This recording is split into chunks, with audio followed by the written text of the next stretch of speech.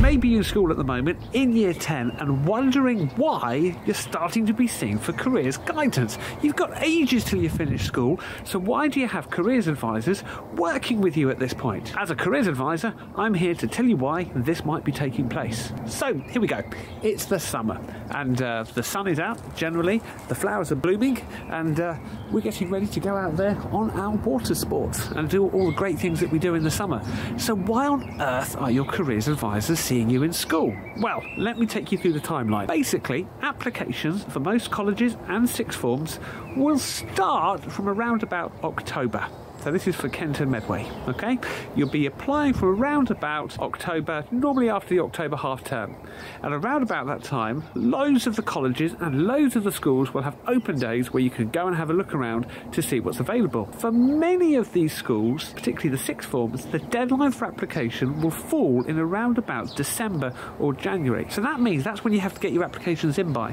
For many of the colleges, they will start interviewing for their courses from around about January, but the application period will carry on a bit later. That's generally how it works for a lot of the colleges. However, there are some colleges where there is a massive shortage in terms of space. So if you do make a later application, you might not get the place for the course that you want. So it's advisable to get an early application in.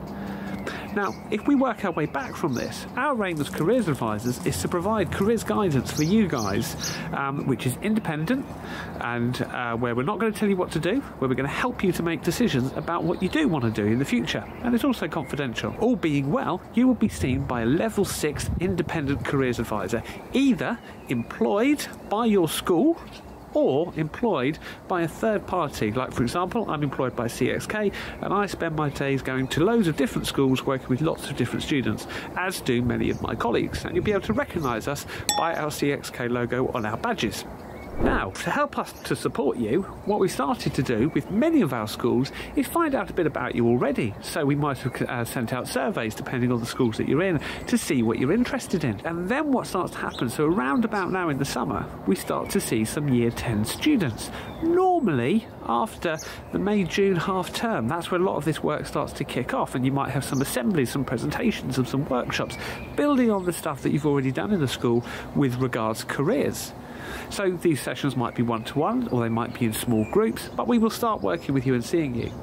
We then have the summer holidays, and the summer holidays is a great opportunity for you to get some work experience if you need that, if you're looking for an apprenticeship, because that might help you get an apprenticeship later on down the line. So make use of the summer holidays if you can.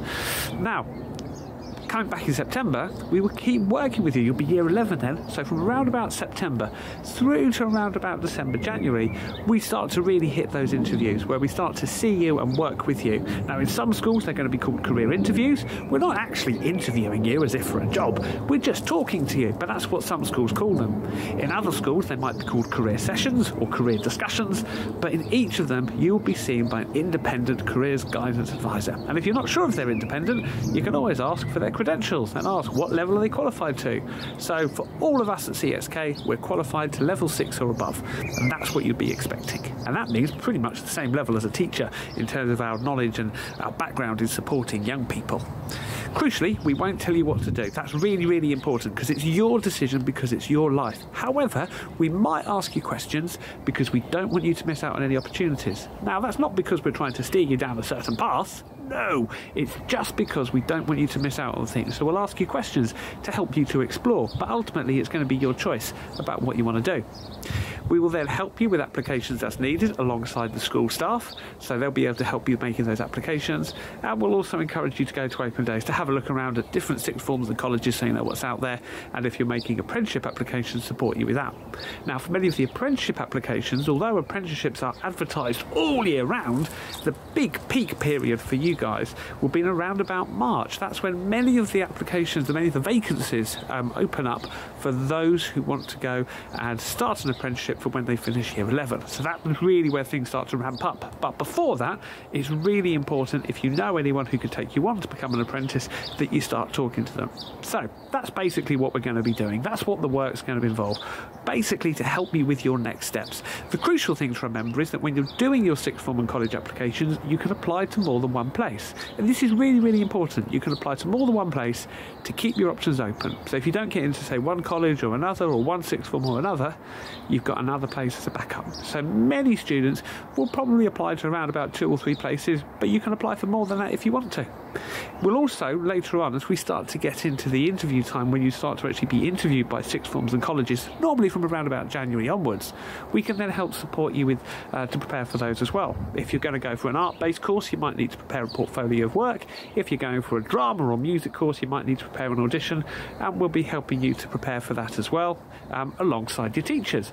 Again, making sure that you're ready for what you want to do. Anyhow, so I hope this gives you a good starting point so you know what's happening and why, but also why we're starting to see you now in the summer for careers guidance. Okay, all the best and good luck with next year.